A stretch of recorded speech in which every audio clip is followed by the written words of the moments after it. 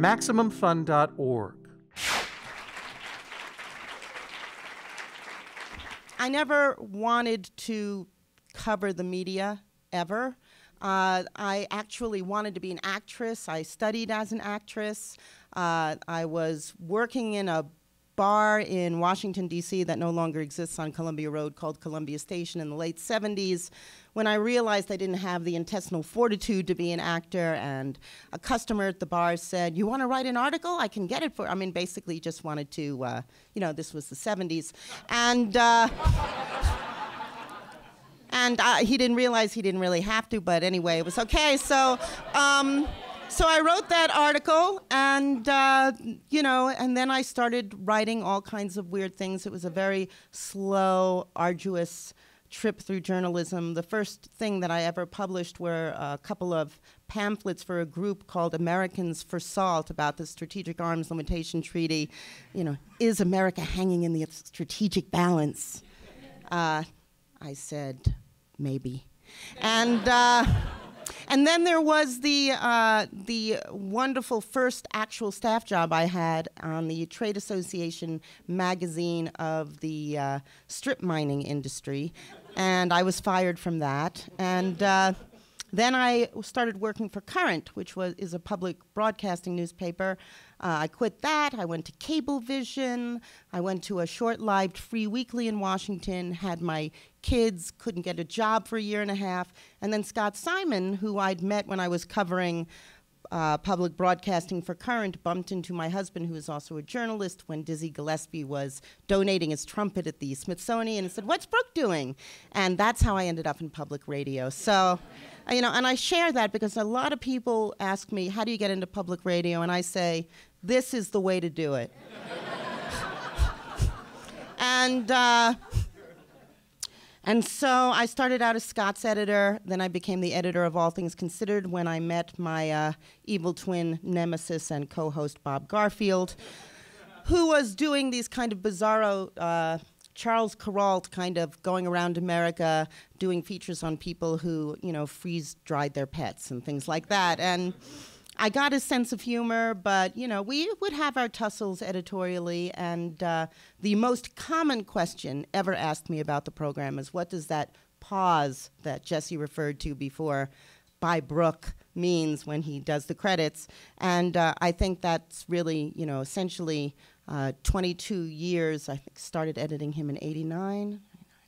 Yeah, about 22 years of uh, dealing with me and uh, and all that that entails. So he likes it sometimes and he doesn't like it other times and he's a strong personality. And that's all I'll say on the subject of Bob unless it comes up in the Q&A.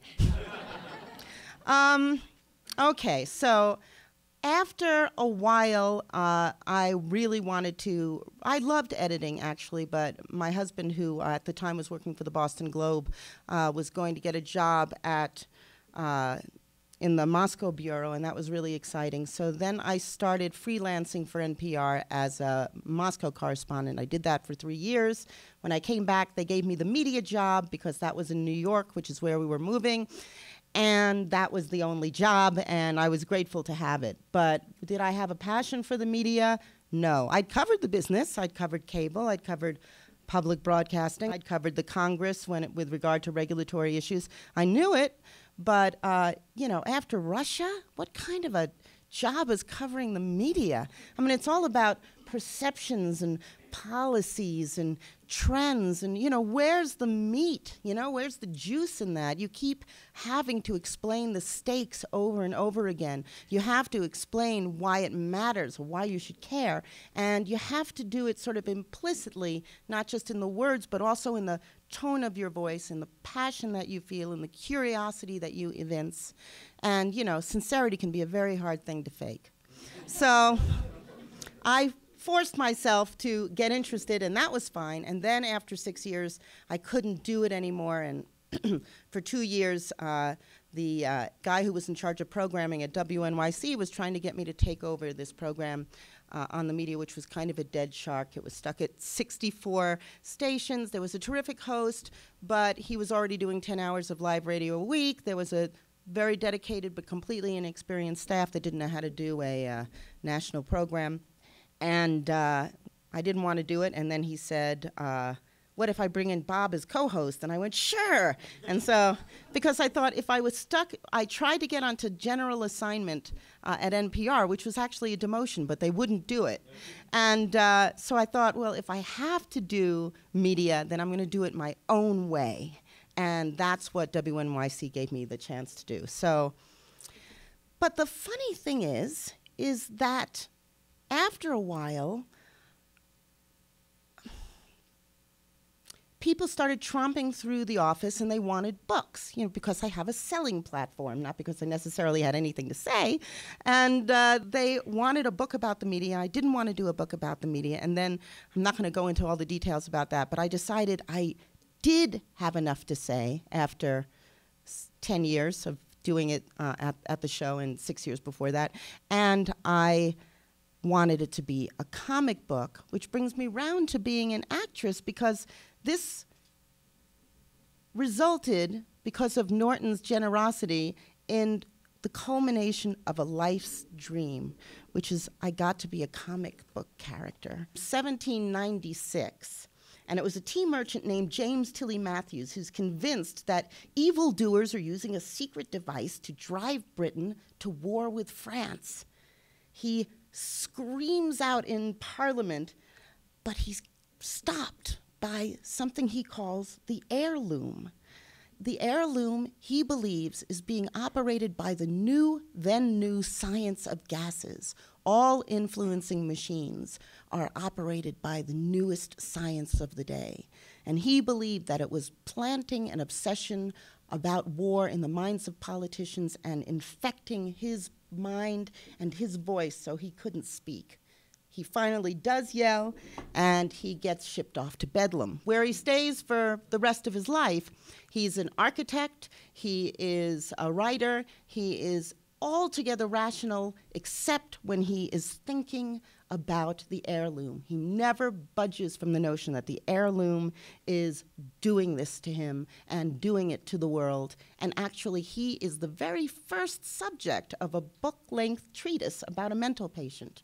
Uh, that's how delightful he was. But these are the same kinds of observations that people make about the media whenever a new technology rolls around. Check out this remark made by the editor of the Richmond Enquirer during the Civil War, 1863. He was saying it about the telegraph. Tell me if it sounds familiar.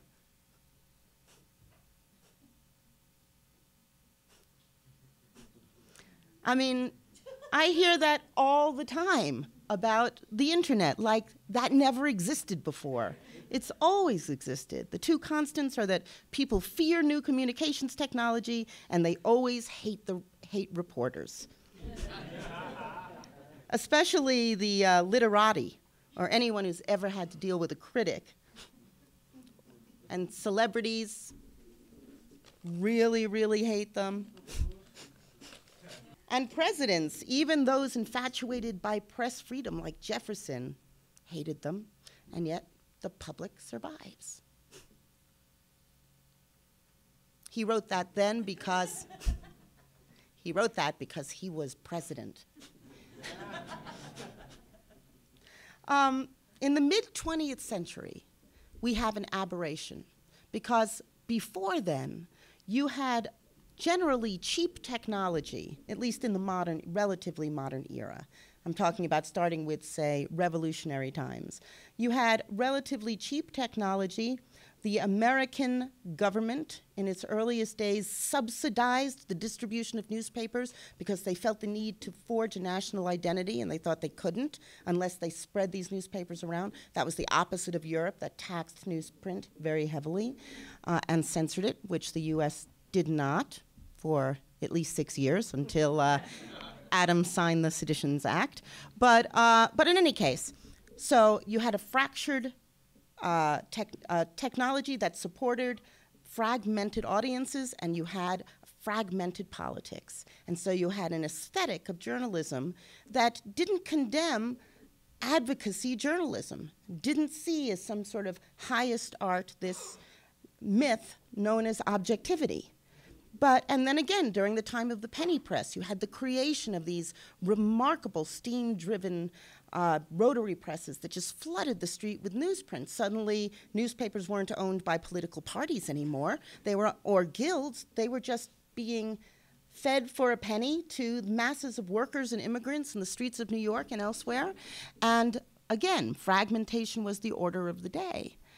It's really mid century America, uh, mid 20th century America, that is the aberration, because you had suddenly the emergence of an incredibly expensive technology, one that needed audiences of unprecedented size to support the production of programs, which means you needed huge audiences to deliver the advertising that could pay for the programming. So fragmentation wasn't going to support television. Then you had an unbelievably consensus driven politics. America faced an existential threat. We were facing the Cold War.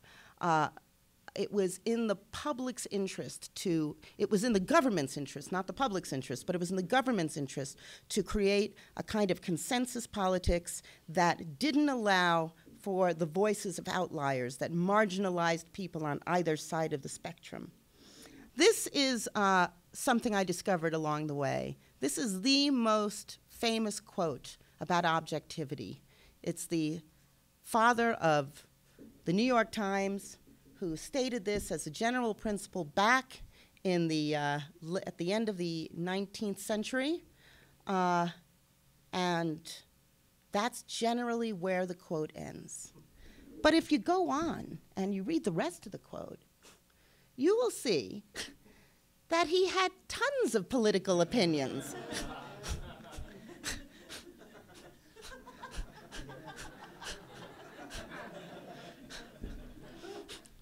So, um, and so once again, it isn't so much objectivity because that is impossible. I spend a lot of time uh, dealing with modern brain science in the book because how we process information has everything to do with how the media deliver information.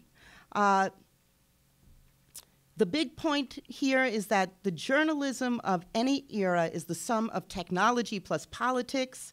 Uh, the golden age of journalism gave rise to it, uh, couldn't afford to alienate anybody, so it created a big middle.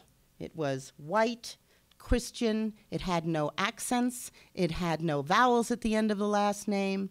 It gave birth to the kind of anchor that could end his newscast every night like this. Astonishing arrogance when you think of it now. I think we all know how complicated the world is. The world was very scary in Cronkite's heyday, uh, and we found him reassuring. Reassuring. We called him Uncle Wa- Walter. He was in one poll voted most trusted man in America.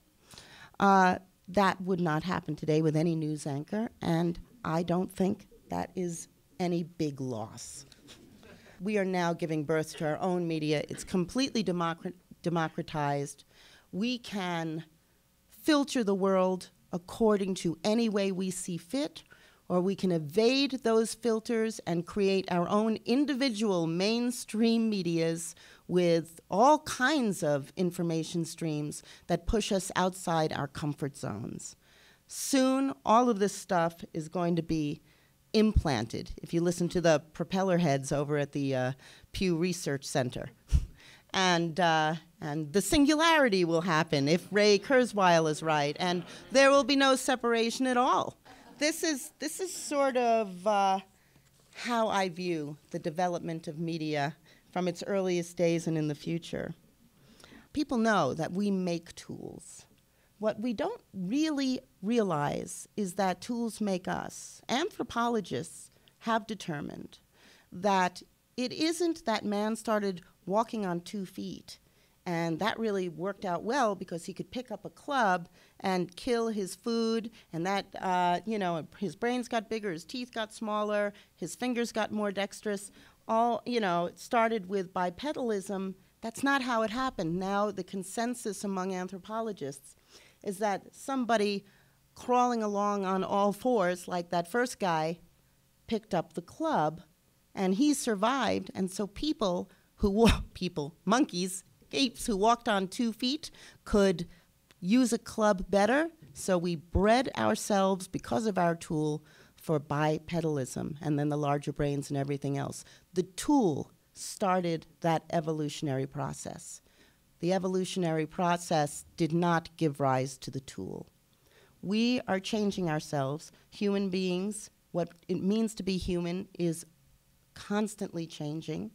Uh, you can choose to be scared by it, but I don't think I'm with uh, a group of scared people. I think you're all a bunch of science fiction geeks like me, or science fiction geek sympathizers, at least. Douglas Adams once said that uh, any, any technology you grew up with is normal and right. And any technology that happens up until the age of 35 is uh, thrilling and fantastic, and you've got to use it and go into the future. And anything that happens after that is unnatural against the natural order of things and is going to bring the collapse of civilization. Well, you know, he said that in the very early 80s. Things are moving so quickly that I would push that to maybe after 45. But nevertheless, I think the principle still holds. Uh, you know, the media is like our senses. It's how we see the world, it's how we reflect it. Every cell phone camera, like a light flickering off a shard of that media mirror. There's a lot I say in the book about personal responsibility because I really do believe that we get the media we deserve.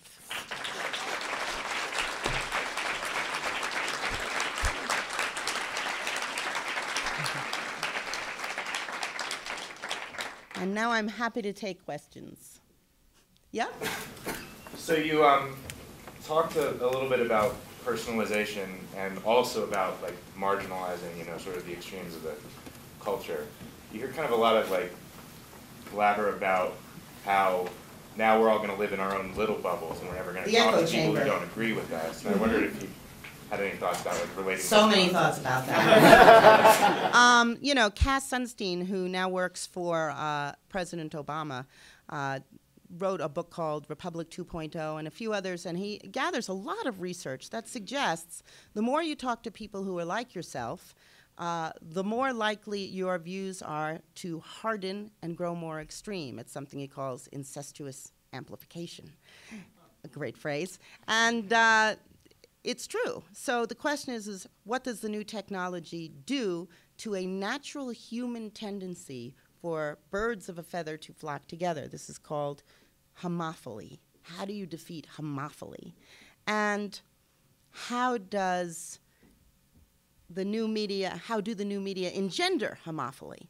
And so, you know, this is a big problem because you can go through and construct a world online in which you will never encounter a fact that you don't embrace or a view that isn't completely in accordance with your worldview.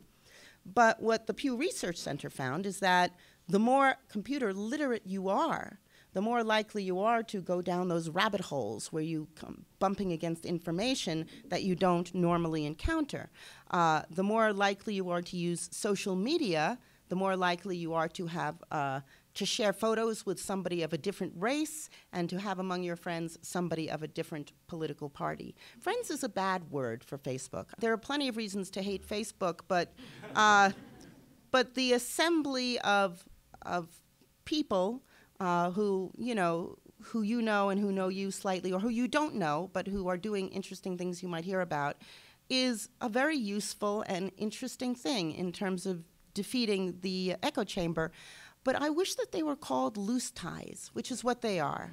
Uh, they are loose ties. Loose ties the looser the better because they're the ones who are going to expose you to stuff that your close ties are probably like you equally uninterested in. Uh, so there's that. But then um, some of you are probably aware of Eli Pariser's new book, The Filter Bubble, which suggests that we are going to be defeated if we aren't very conscious of our behavior by the very structures that are there to serve us. Google now delivers different searches to different people based on their past behavior and past interests. Facebook will cease to send to your news feed people who you never express any curiosity about and never have contact with. Uh, Yahoo News, the New York Times will also tailor their searches to your past behavior. Eli Pariser, who's a creator of MoveOn.com, decided that for his Facebook he would friend lots of conservatives so he could see what they were doing. And uh, and he found that gradually they disappeared off of his newsfeed, and this made him very indignant because he had friended them and he wanted to know. But the mysterious algorithm, the ghost in the Facebook machine, had determined that he really, by his behavior, had no interest in these people. So you have to sort of put your you know where your money your money where your mouth is when it comes to seeking out views outside your comfort zone um, so I do believe that you know this is a tool like any other. It can allow us to hide and filter out the world, or it can allow us to go forth and explore. Uh, but we need to learn by our behavior to evade the barriers that are supposedly put there for our own enjoyment and our own protection. Uh-huh. How do you feel that the distribution of technology that lets people basically share information very easily affects that? So it's very easy for us to get, for example, camera shots from uh, the Arab Spring. Like, how does that interact with the sort of bubble that we're building?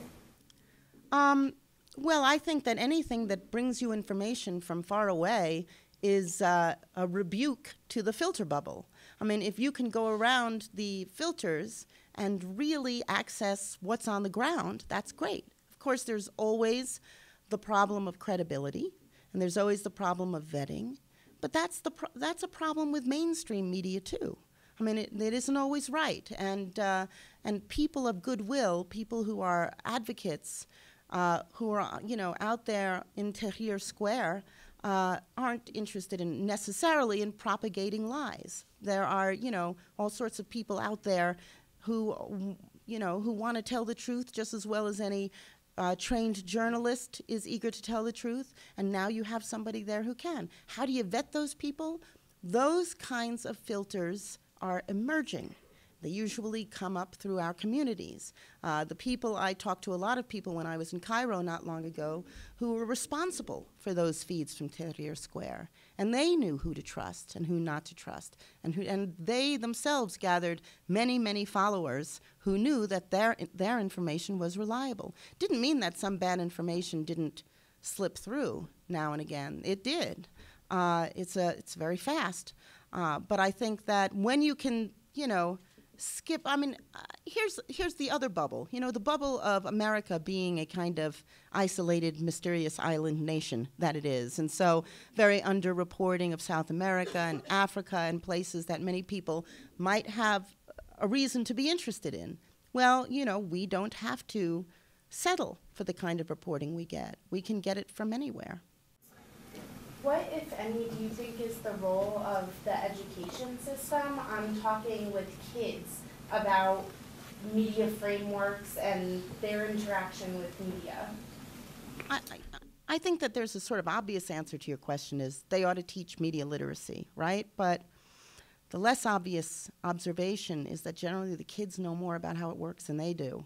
And uh, they also have a lot of built in skepticism because they understand you know, digital natives, those born you know, before 1985 generally, that's, they're identified that way.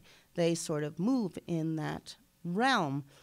They say that the consumers of the penny press were very savvy consumers. They bought lots of newspapers, sometimes several a day, but they knew that they couldn't necessarily believe everything they read. We were less savvy because of the golden age of objectivity, uh, mid-century till about you know 10 years ago, which uh, mid 20th century till about 10 years ago, which gave rise to a class of ethical journalists who functioned with good values and uh, but also only told us part of the story because it was a, a consensus kind of journalism. So you know, the price of freedom is with uh, great information you'd otherwise never get is a bunch of junk, and I'm, I'm wandering off your principal point. I, I think that people should be taught to think critically and that that's a sort of a, a general thing that isn't technology dependent. And if you learn how to ask a certain set of questions whenever confronting a bit of information, you don't really need to worry so much about here's what you need to do when you're looking at stuff on Wikipedia, and here's what you need to do when you're getting stuff from Twitter, and, and so on. I think it has to do with uh, knowing how we, there's a big chunk in the book about how humans are wired to think. And it's terrifying how we are wired to resist information that is uh, contrary to decisions we've already made about the world. And so, um, if we could understand how we think, we don't really need to teach them about the technology, which is moving so fast. Uh huh. I would kind of argue against the idea that digital natives are any more, uh, you know, they, they understand sources of the electronic media better than anyone else. I kind of. But they're just as gullible? Yeah, I think that they're, they're, I mean, I straddle the edge of a digital native, and I see these people who are, you know, five years younger than me, and they, they're, they're you know, gorging themselves on the sweets of the internet, the funny videos, that, that, the, you know, what's thrown at them, they, you know, they, they're not left like me where I, I I see a topic and I just do a lot of research on it because it interests me. They're like, oh, I'll just, you know, skim Wikipedia, write my paper, and I'm yeah. Well, I'm not. I'm not talking about you know people who are just not going to be that curious. I'm not saying that digital natives are smarter or better than you know people who are older. What I'm saying is that the same kind of om- information omnivores who would be less critical because they're older and are used to a reliable mainstream media. Those same kind of people who have the same impulses to consume information know how to apply different criteria to the information that comes through, you know, online sources. I'm just saying that they are used to dealing in that sphere. I am not saying that uh, there's a higher percentage of young people who care about information and know how to research and vet than, uh, than older people. And also the 1985 thing is very rough. But I'm, I was just, uh, but I was just saying that, you know, find person A who cares about information is an omnivore and is curious, and person B, uh, person A who may be 45 may not know how to view stuff that comes in through their email you know, should I believe? I mean, I get lots of, especially a couple of years ago, because everybody's getting a lot more used to it. A, a, big part of my job for my family was to get a picture and have, then they would say, Is this real? You know, is Bush really reading that book upside down? Are they really in that canoe in the middle of the streets of New Orleans fishing after Katrina? Uh, is Sarah Palin really wearing a bikini, packing a pistol by the pool? You know, uh, you know, and it's because they just aren't aware of the sort of photoshopification of our culture. That's really all I meant. Um, yes? Um, you mentioned the myth of objectivity. And what I love about on the media is that there's a distinct voice. Like, one of my favorite moments in radio this year so far has been um, during the discussion of the bias in NPR coverage. The skepticism you had in your voice when you were talking with a conservative news analyst who mm-hmm. was stating that just asking a question was showing mm-hmm. bias. Mm-hmm. Uh, could you discuss like the development of that tone on the show? um, development of that tone.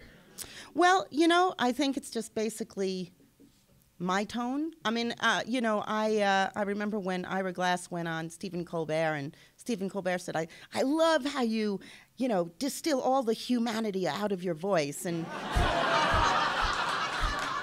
and, and, then he then he did an imitation of uh, of Ira. He he went. Uh, Hello, this is Ira Glass. This is American Life. Today's subject dogs. And, and, uh, and what Ira said is, it's just the way I talk. And, you know, if you've talked to Ira, you know that it's the way he talks. Uh, he actually gets more excited than, than that little cadence that he does at the beginning of the show, but you know, it's fundamentally the way he talks. Uh, I think that the, the function of the tone is just 10 years of being in my own little sandbox, uh, you get really comfortable. And then you just, you know, it's a very safe place, uh, a recording studio. I don't know if you've ever been in one, but I know some people like, uh, you know, going into those sort of sensory deprivation tanks. I mean, to me, that would be way too claustrophobic. But there is nothing nicer than sitting in a booth, the lights are low, and looking out at you are the engineer and the producer. You really like them, and you know, and it's you don't, you're just there by yourself. And that's the weird thing, is because the uh, that intimacy that you feel in that space is directly translated to all the listeners right? Which is what makes radio so different from any other medium. That illusion of a one to one relationship. You don't get it with TV. And, you know, print by convention, the writer is pretty much absent when reporting the news. But the radio, you're dependent on somebody's voice. And a voice is really, really personal.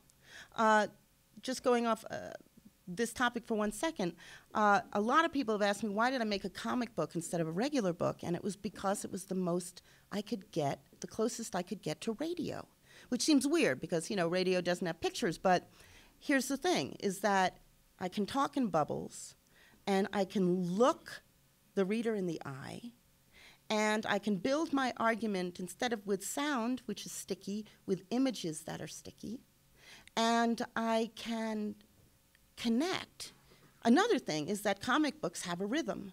They have a very definite rhythm, and radio has a rhythm you can play with with editing, and it is also, uh, and a lot of those rules translate so easily. And, and that was that was amazing. Coming up with all a thousand images that was hard for me, but the uh, but the rhythm part of it was easy. It felt really natural, and uh, you know I'm really kind of hooked on that. So I guess the tone is is that you start learning how to connect in a personal way, and then you don't get that sort of generalized, I'm talking to a million people tone that you get from television.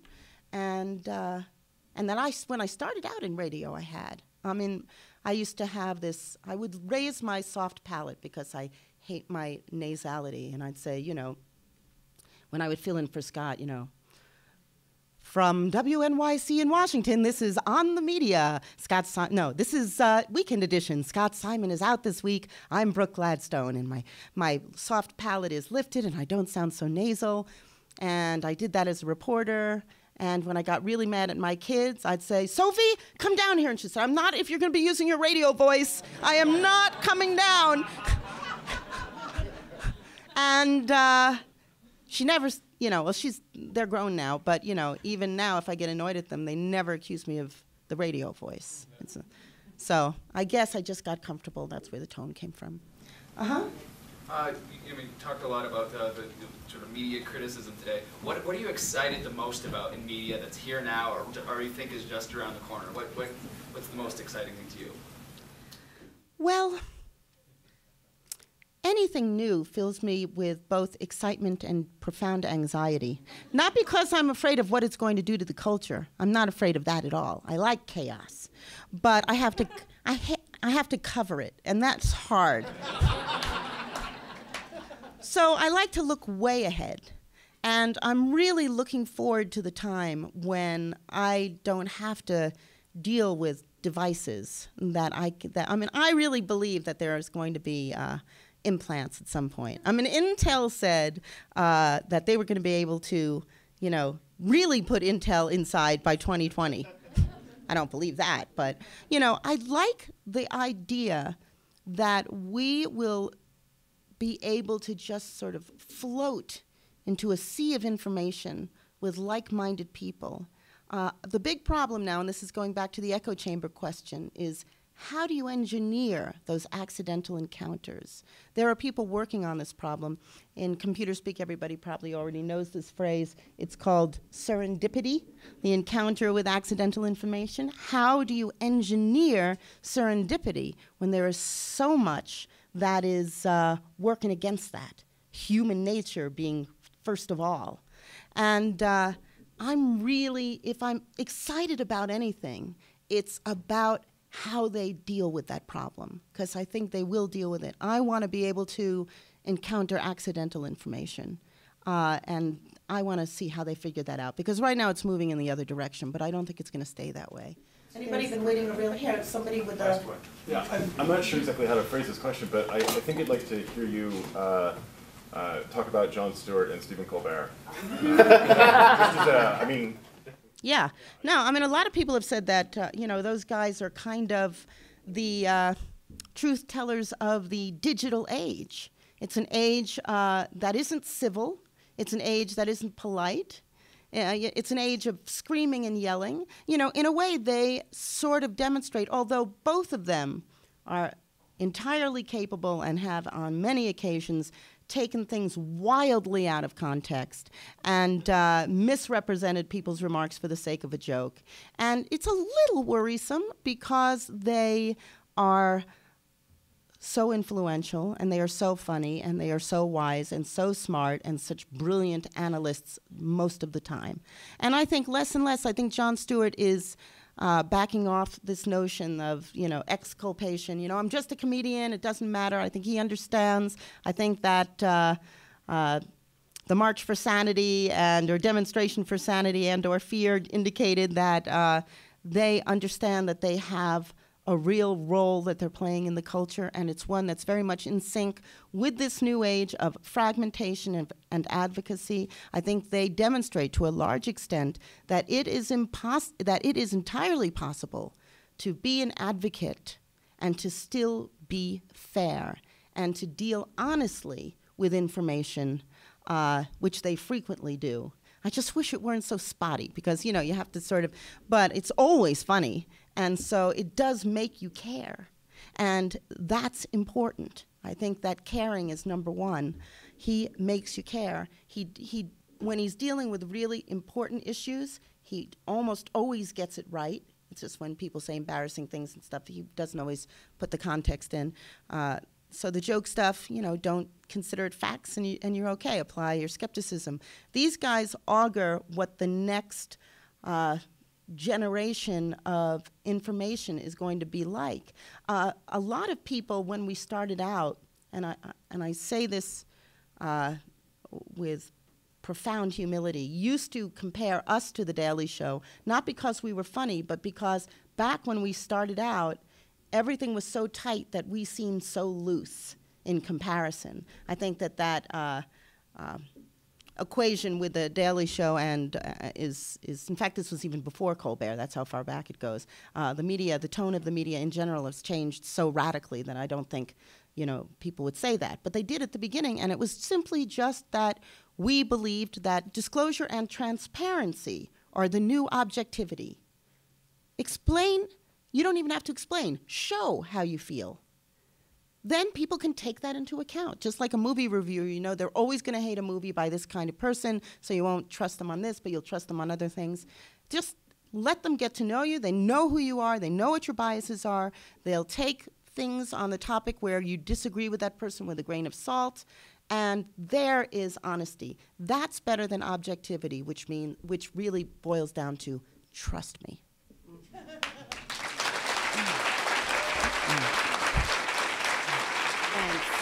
And I'll take my stuff with me. I'll do it after. There's nothing else that's in here, right? Um, well, I, I want to thank I want to thank Brooke for joining us. And Brooke, before you escape to the comfort of the audience, I want to take this opportunity to give you our second uh, special citation in the area of broadcasting for contributions to things that are awesome. So, Thank you. Brooke Gladstone from On the Media.